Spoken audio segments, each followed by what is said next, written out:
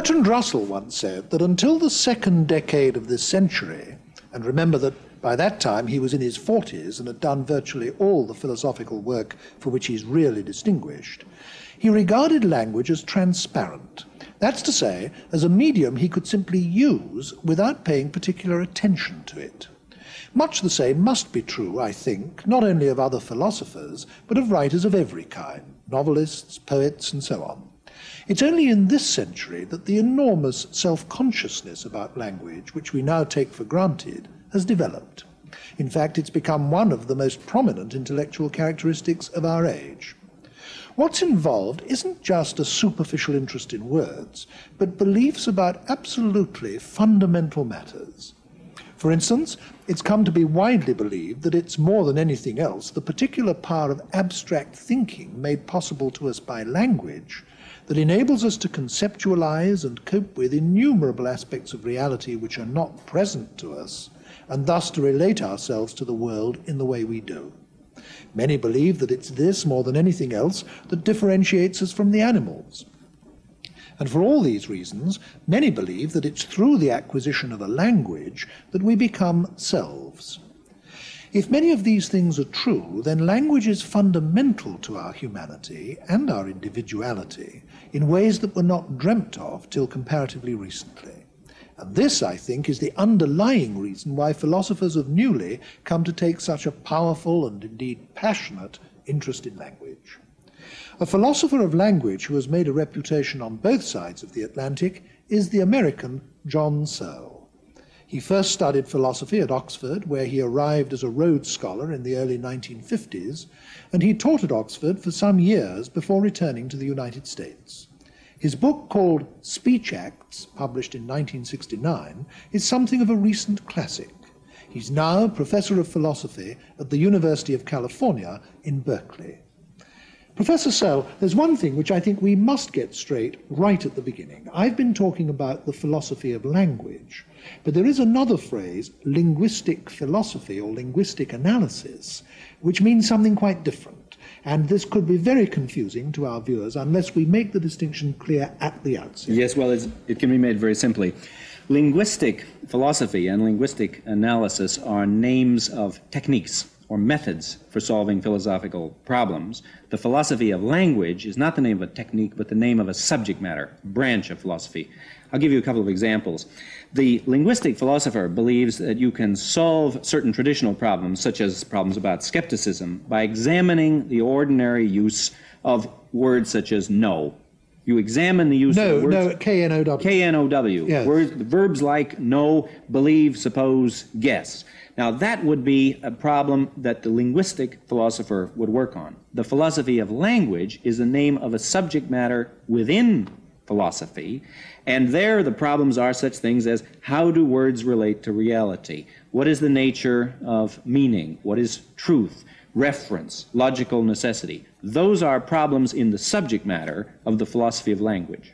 Now, obviously, philosophers of language like yourselves, like yourself, regard language as being absolutely fundamental uh, to human life and human thought and so on. I tried to explain just now in my introduction to this discussion some of the reasons why, but I think it would be especially interesting to hear from you as a professional in the field your reasons for regarding language as being as central as you clearly do regard it as being? Well, I think to begin with, it's almost bound to be central to philosophy. Uh, philosophy is, in an important sense, a conceptual inquiry. But quite apart from philosophy, I think language is crucial for some of the reasons you were suggesting, crucial to an understanding of human beings and human life we tend in a pre-theoretical way to have the idea that words are, as, as you said, transparent, uh, quoting Russell, and that we can just apply them. We just name our experiences and our social relations. But in fact, when we begin to investigate, what I think we find is that those forms of experience, those forms of social relation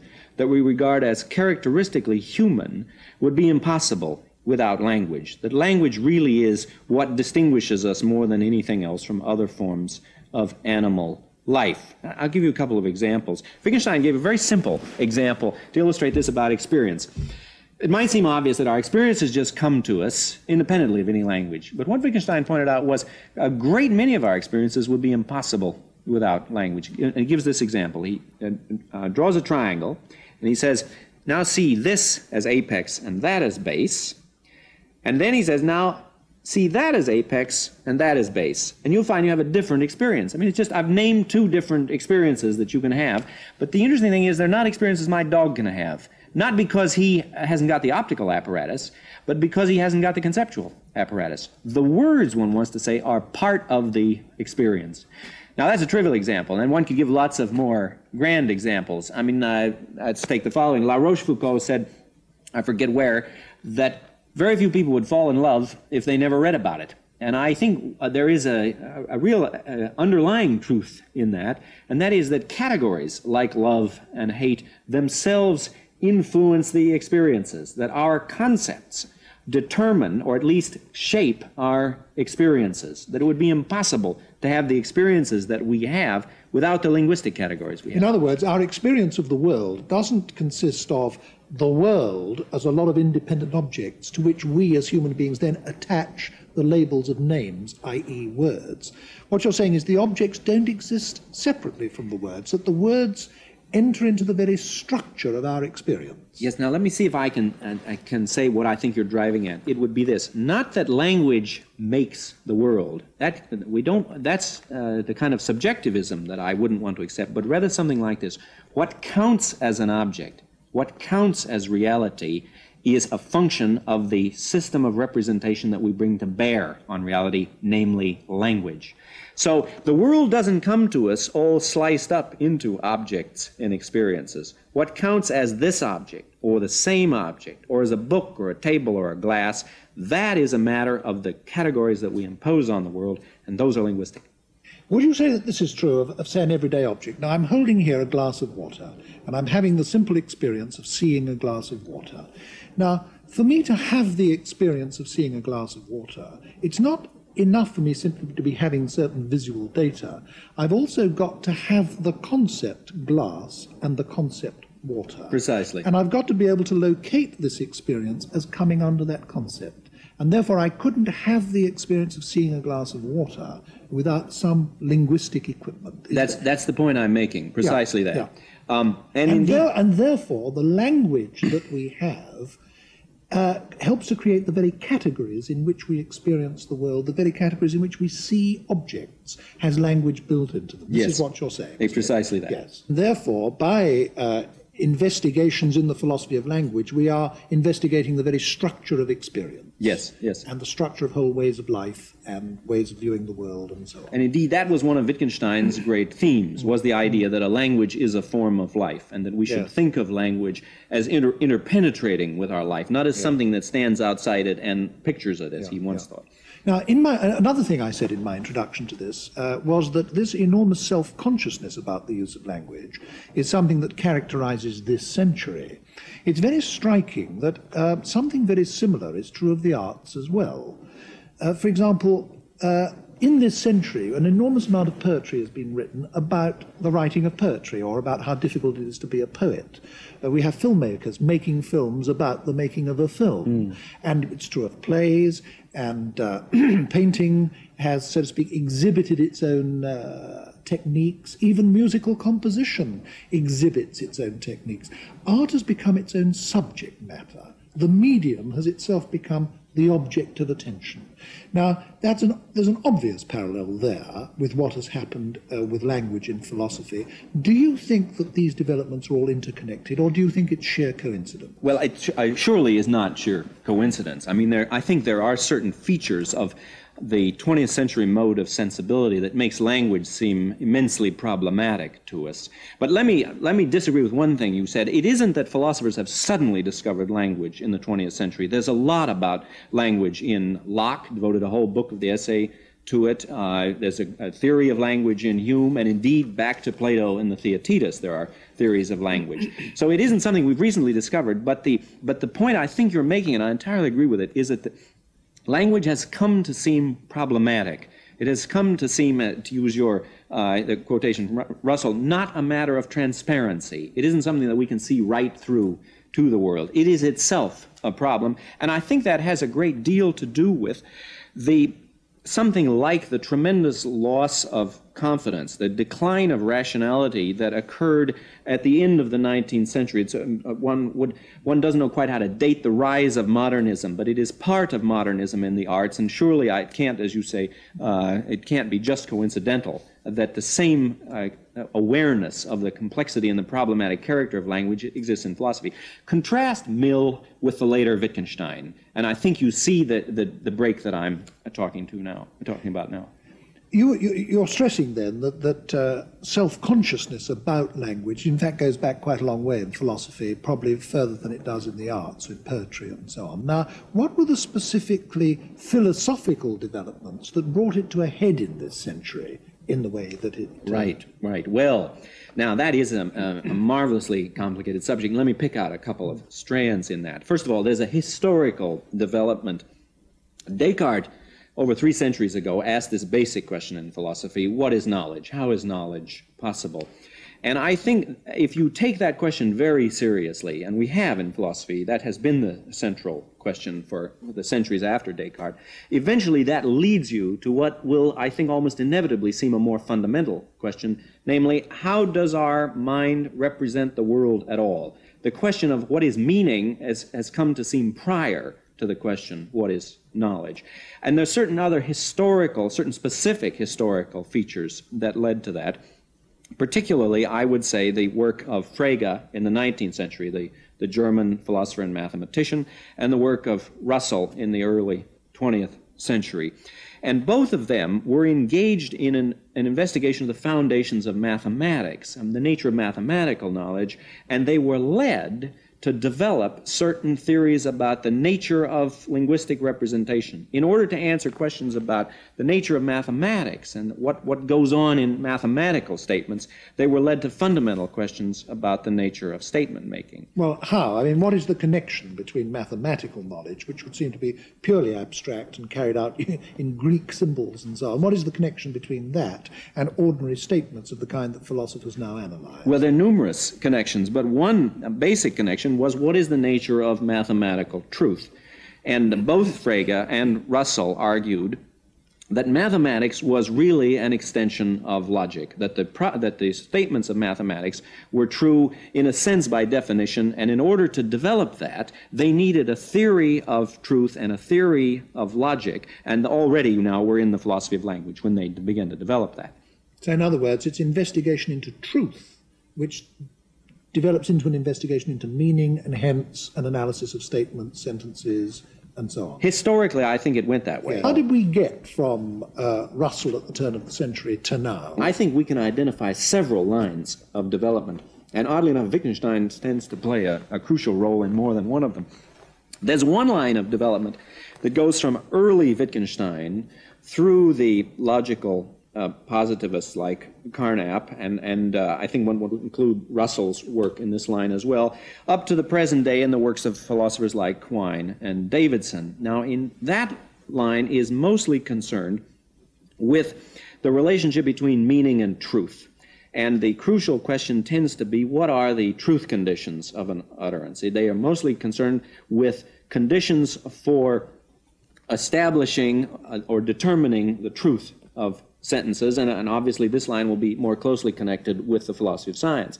Now, another line, which is the later Wittgenstein, and also the work of philosophers like Austin and Grice, and, and I think I would include myself in this, is more concerned with questions of linguistic use, with language seen as a part of human behavior. And the, the crucial question there is not what is the relation between meaning and truth, but what is the relation between meaning and use, or meaning and the intentions with which a speaker makes an utterance?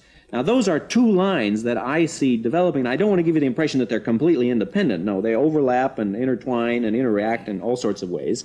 But then there's a third line that has come to seem very uh, prominent in recent years, and that is the science of linguistics, of which Chomsky's name is uh, the most prominent among contemporary linguists has come to interact with philosophy in ways that were not the case uh, until really quite recently, until after 1957. You've made so many important points at once, yeah. Professor Searle, that I think it will be helpful uh, if I sort of, so to speak, recapitulate mm. uh, before we start moving ahead.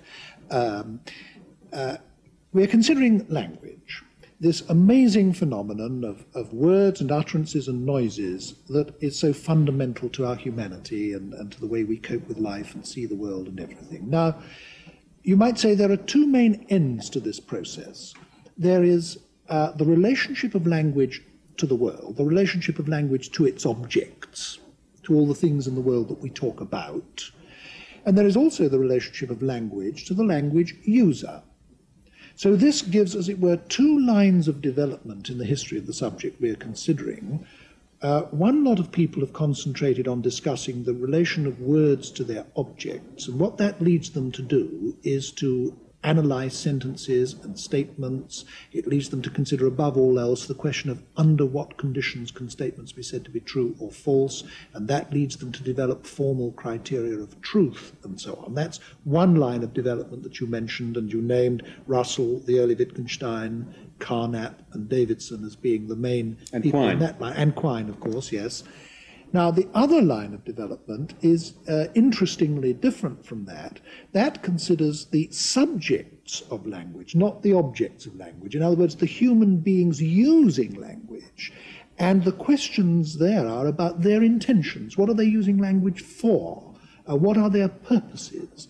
And we, well, now you didn't say who the main people in that line of development were, but I take No, I did. I, a, Wittgenstein, a later Wittgenstein, Wittgenstein Austin, and Austin. and, and I would include de Grice and Strawson and other yes, people as well. Yes, yes.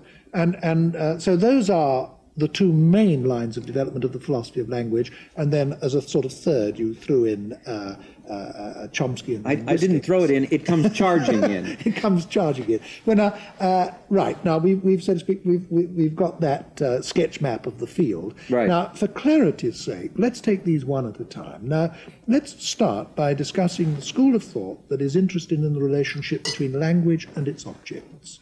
In other words, to use the most famous phrase, words and things. Mm-hmm. Uh, can can you unpack that a little? Well, let me. Uh, should I do it by way of telling you something about the central figures? I think Yes, perhaps that's one way to yes, go about yes, it. Yeah. Well, uh, an epoch-making book in this field is Wittgenstein's Tractatus Logico-Philosophicus, and he there articulates a very powerful theory of language. That language sentences consist for him as uh, consist of being in effect pictures. They're conventionalized pictures of facts. Not that they actually look like uh, the fact, but that the relation between the way a sentence represents and the way a picture represents is structurally quite close. And then uh, this then this picture theory of meaning, as it was called, formed the basis of his theory of language. Now he came to reject that later, but that had a powerful influence. His book, The Tractatus, had a powerful influence on a school of philosophers who were known as the logical positivists, and their center was in Vienna uh, between the wars. And uh, they, I think, at least partly misunderstanding Wittgenstein, took the question of verification. How do we verify a proposition as the central question in meaning? And their, their slogan was called the verification principle. And the question that they asked, the, the crucial question, was in order to know what a sentence means, what must we do to find out whether or not it's true? This was one way of putting the claim that the meaning of a statement is its method of verification. And they accepted the idea that all statements are either analytic or synthetic. The leading figure in this group, and perhaps the leading figure, is Carnap. And Carnap, though his views changed a great deal over the years, I think is primarily famous for this conception of language. That is, that language consists in statements, primarily consists in statements that are true or false, and that their meaning is intimately connected with their method of verification in such a way that we can define meaning in terms of verification. Now, then, when we get to more recent times, when we get to Quine, Quine is most famous. His, his single most famous work was an attack on the distinction between the, uh, on the analytic synthetic distinction. That is, he attacks the idea that we can make a clear distinction between that truth which is in virtue of meaning and that which is in virtue of matters of fact. And this then led in his most his more recent work to what I can only describe as a general rejection of the notion of meaning. Quine adopts a behavioristic conception of language. He sees us as beings who are bombarded by stimuli, verbal and otherwise, and then we make verbal responses. And all there really amounts to meaning is our dispositions to respond verbally. There isn't, in addition to these dispositions to verbal responses, anything called meanings going through our mind. So Quine's behaviorism is closely connected with his empiricism, but ironically, it led him to reject what had seemed one of the foundation stones of an earlier generation of empiricists, namely the distinction between analytic and synthetic proposition. His famous article is called Two Dogmas of Empiricism. Am I, am, am I going too fast through these, or no, do you want to no, no. Right. Let's. Shall I go on to Davidson no, then? Yes, you, Davidson is the one person you mentioned that you haven't taken mm. up. Now, Davidson, incidentally, is remarkably influential in England, um, and uh, indeed, I would say more influential in England than he is in his home country. But with perhaps a very good reason, he's certainly a very powerful philosopher. Davidson argues that there is a more intimate connection between meaning and truth than previous philosophers have been aware of, or at least have made explicit, and that is this. If we wanted a theory of meaning for a language, the way to get that theory of meaning would be to get a set of principles which would enable us to deduce for any sentence of the language under what conditions it was true.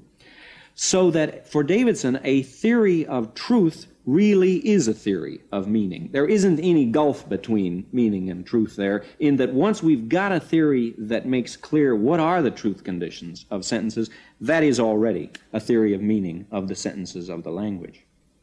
Well, I think I don't think we'll go any further into the work of each of these individuals, Professor Searle. I think we ought to move on now to the second of the main lines of development that you mentioned, and that is the line of development that's concerned with the intentions of speech users. Now, the central notion here is the notion of a speech act, isn't it? Which is indeed mm-hmm. the title of your famous book. Mm-hmm. Uh, the idea is that every that sentences don't just kind of exist in limbo; they don't exist all by themselves, autonomously in the universe. They are generated by human beings, and they are always generated in actual situations, and they're always generated for a purpose, in order to do something. And the idea is, isn't it, that you can only understand meaning if you understand the intentions of the language user. What is he doing mm-hmm. when he utters something? Would you take yes, it up well, let me let me go on with that. Um, in the tradition that we're now talking about, it isn't that there is a rejection of the uh, question, what is the relation between language and the world? Rather, that question is put in a larger context. The question now becomes, well, what sort of behavior is linguistic behavior? And then the way that that is answered is in such a fashion as to try to explain how the speaker's intentions, how his rule governed intentional behavior relates language to the world. So the question, how does language relate to reality, which I think is one of the fundamental questions, perhaps the fundamental question in the philosophy of language, is assimilated to what I think is the larger question, and that is what is it about human beings that enables them to, as you said earlier, make these noises that have such remarkable consequences. Among them is the consequence that they do relate to reality. Look, for me in this tradition, the fundamental question is how is it that we get from the noises that come out of my mouth to all these semantic properties that we attribute them. I mean, after all, from a physical point of view, the noises that come out of my mouth are fairly trivial stuff. I mean, I, oh, I my jaw flaps open and I make this racket and out it comes. And, and in linguistics textbooks, there's all this ridiculous stuff in my throat and, and uh, uh, mouth that enables me to do that. But physically, it's all rather trivial. And yet the most remarkable things occur. We say that chap made a statement or asked a question or gave a command or an order or an explanation that what he said was true or false or interesting or boring or uninteresting. I mean, we attribute all these remarkable properties to it, and one set of those properties are those that relate it to the world. Now, the basic idea behind this second approach is that the way that language relates to the world is a matter of how people do that relating. And the basic term of that, at least in the tradition as I see it, is as you said, the notion of a speech act. when people do uh, communicate with each other, whether in words or in writing. They perform a series of acts that we have names for, such as making statements, asking questions, giving orders, commands, apologies. Austin, incidentally, claimed that he could get a list of about a thousand such verbs and verb phrases in English. Now, that is the, uh, the alternative uh, tradition. And I should say Wittgenstein's enormously important role in uh, developing that, the later Wittgenstein. And it would, but it would be misleading if I said that he would agree with everything that I have uh, said. And I think there's a basic point of disagreement. Wittgenstein, though he was really the person who gave uh, this direction to the philosophy of language, the idea of, of looking at language as a form of human behavior and language as a form of life, Nonetheless, he resisted making general theories of language. He thought any kind of general theorizing was almost bow, bound to lead to distortion and falsehood when we were doing philosophy. So, though I regard myself as, at least in part, inspired by the work of Wittgenstein. I think he would reject the theoretical bent that I personally try to pursue and that Austin, I think, was pursuing. I was going to say, uh, the other really big figure in this tradition, apart from Wittgenstein, the later Wittgenstein, is J.L. Austin, now alas dead. He died rather young. Uh, uh, an Oxford philosopher. And indeed, you were a pupil of, yes, I was uh, indeed, of Austin's, yes. weren't you? Can you say just a he invented the term speech act? He didn't quite invent the term. It did, it did uh, exist in certain structural linguists, such as Bloomfield in the 1930s, but in its modern meaning, it is Austin's invention. And he arrived at it by quite an interesting route. Before Austin, the um, primary concern of philosophers of language had been with those utterances that are true or false. And indeed, as I was saying earlier, verification loomed large, and there were such questions as whether or not propositions that weren't verifiable could even be said to be meaningful, the logical positivists arguing that they couldn't.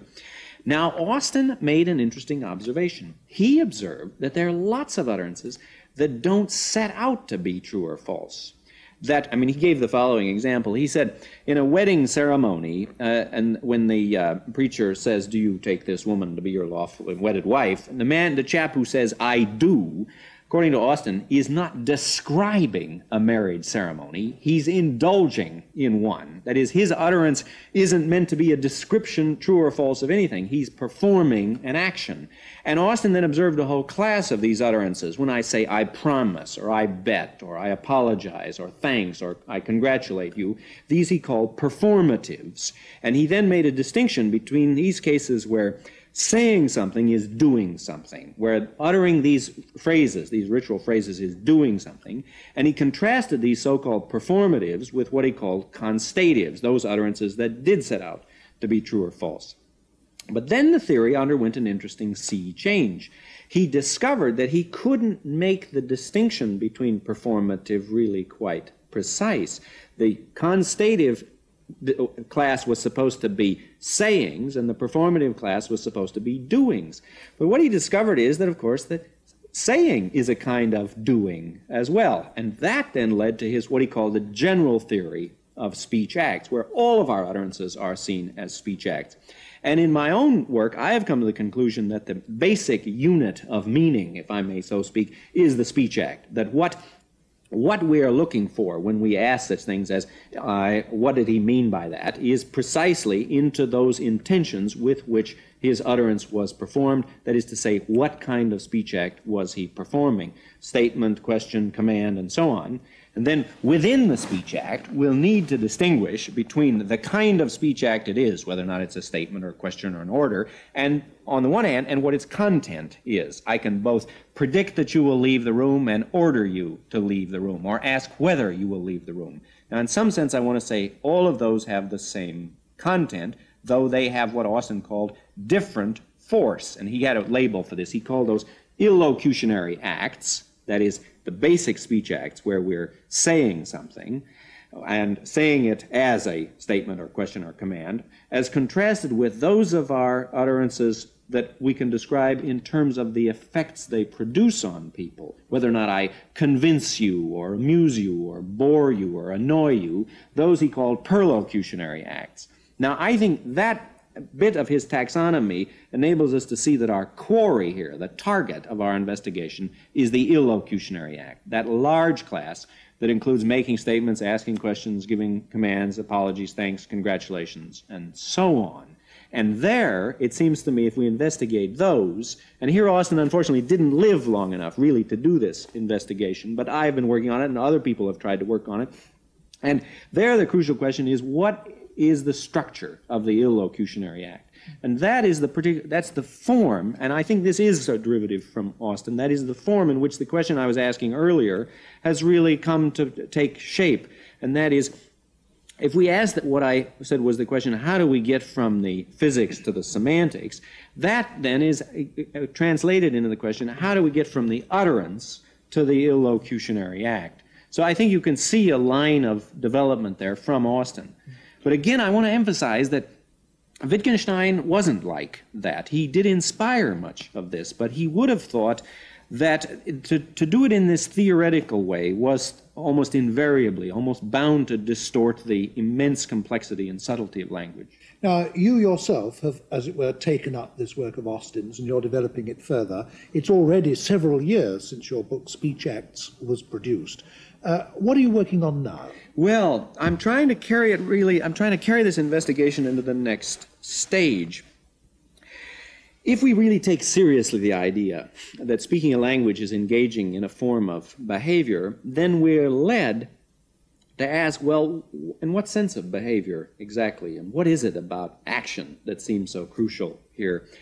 And this ties in with what to me are the two central questions in contemporary philosophy. And I think in a way they come together. The two questions are how does language relate to reality, which all philosophers of language are concerned with in one way or another?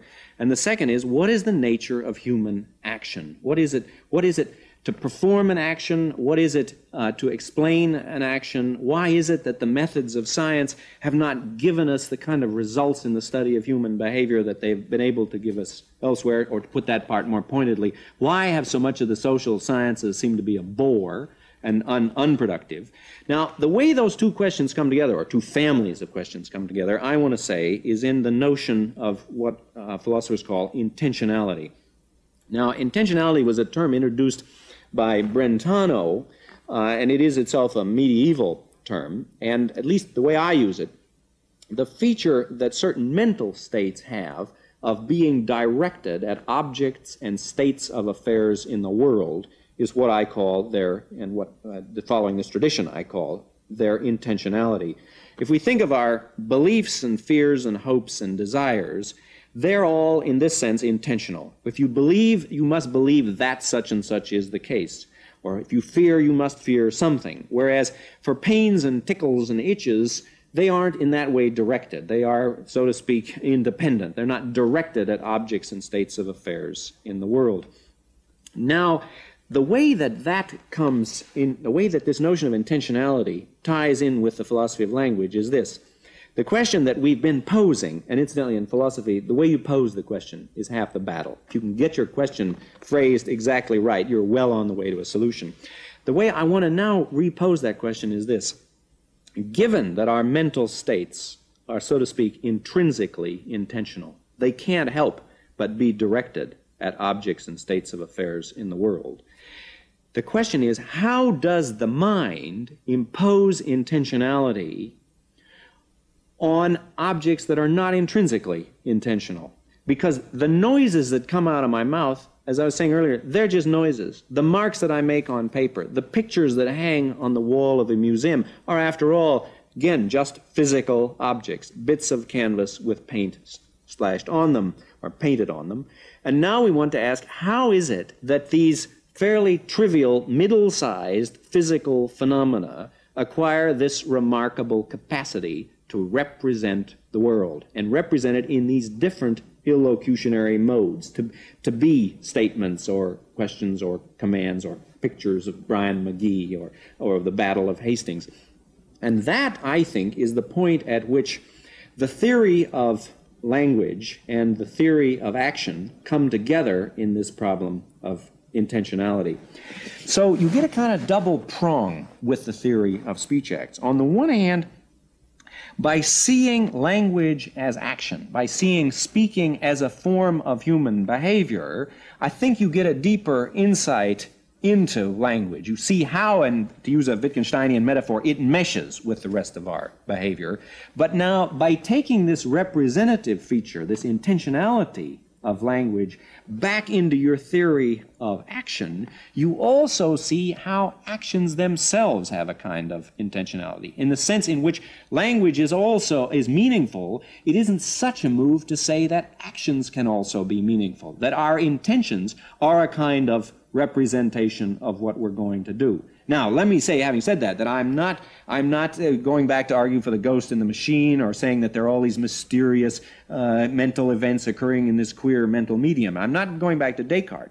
I think it's a big mistake to suppose that the logical features of intentionality, that is, how it is that the mind can represent the world, either in our mental states, beliefs, hopes, fears, and so on, or perceptions, or in our representations of the public kind, in language, it's a big mistake to suppose that those questions have to be the same as, the, as Descartes' questions, namely, well, what's going on in my mind? What is, the, or is, is there some queer uh, mental event occurring in my soul when I speak? So I want to separate the Cartesian questions, the questions about the nature of consciousness, from what I take to be what, what to me is the basic question about intentionality, namely, how do mental states represent and how do they have this remarkable capacity to make objects represent? I mean, look at it this way how can mere things represent? How can a mere object or noise stand for something in the world? So my, my, my current research, which is a, really going a step back from speech acts and, and into more basic primitive questions, speech acts ask the question,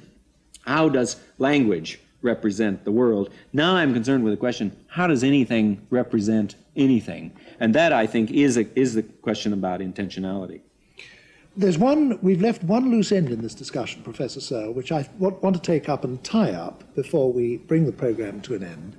Uh, when you were earlier on sketching out the whole state of the subject, you mentioned linguistics, and in particular the work of Chomsky, as being an important feature in the landscape. I think I must ask you, mm. uh, before we do finally conclude, uh, to say just a little bit briefly about him. Yes. Well, of course, Chomsky, I think it's no exaggeration to say, produced a revolution in linguistics.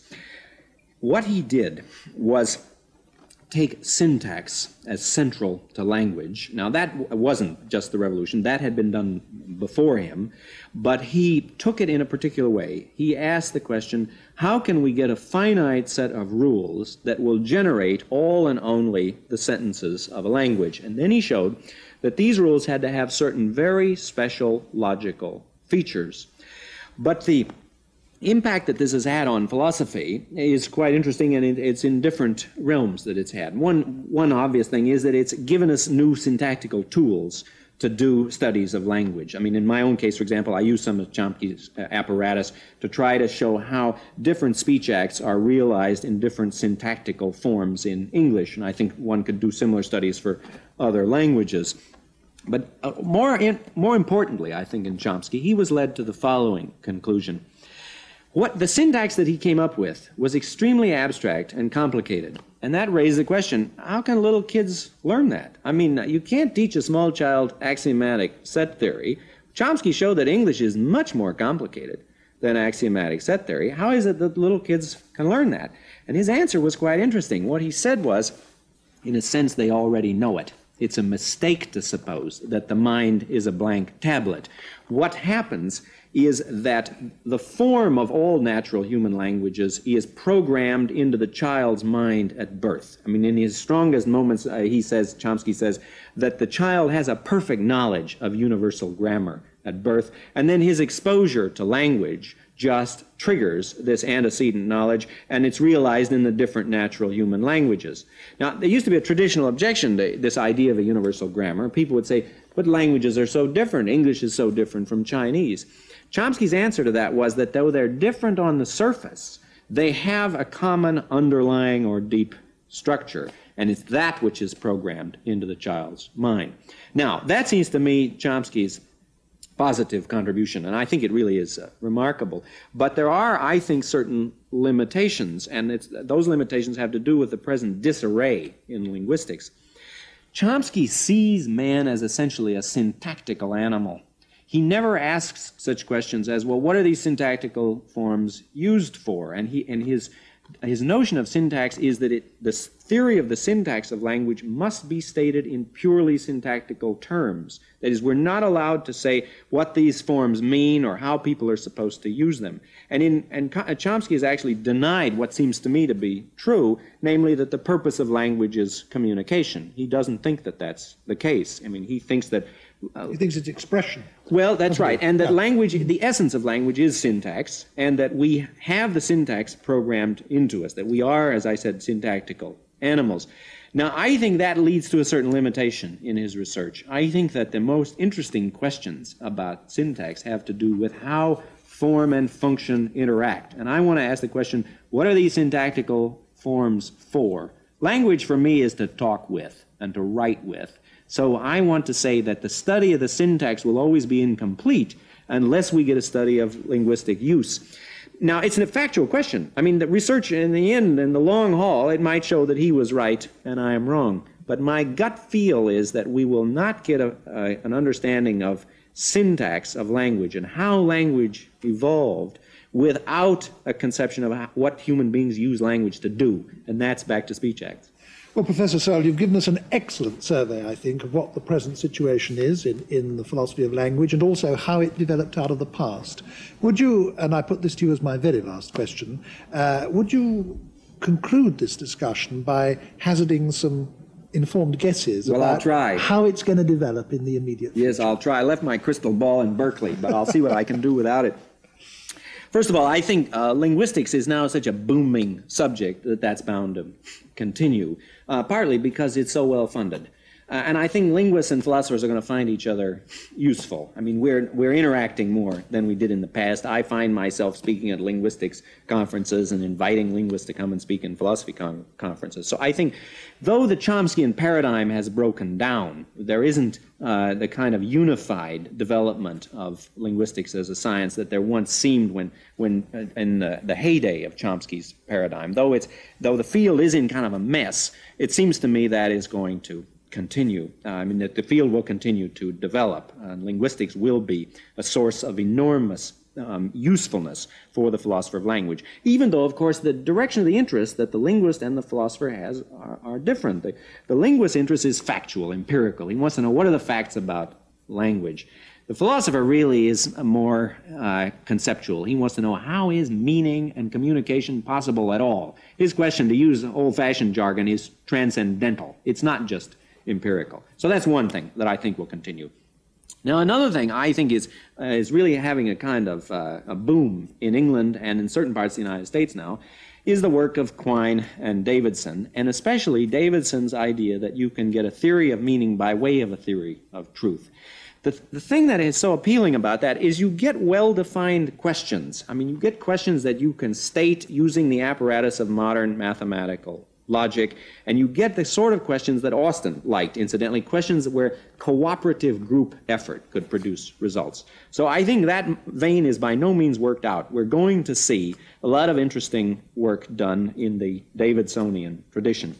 And finally, I want to say that the kind of stuff I'm interested in, I think, has, uh, is going to continue to interest people. And I'm quite interested to see that on the European continent, where for so long there seemed really a kind of uh, iron curtain between the way they did philosophy and the way we did philosophy. I mean, French and German philosophy seem so different from Anglo American philosophy.